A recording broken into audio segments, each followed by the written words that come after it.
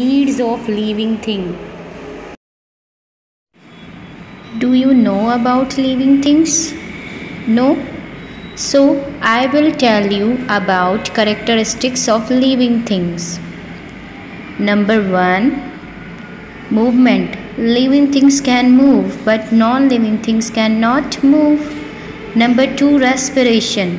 Living things can respire but non-living things cannot respire. Number 3 is growth. Increasement in size and mass of an organism is called growth. Living things can grow but non-living things cannot grow.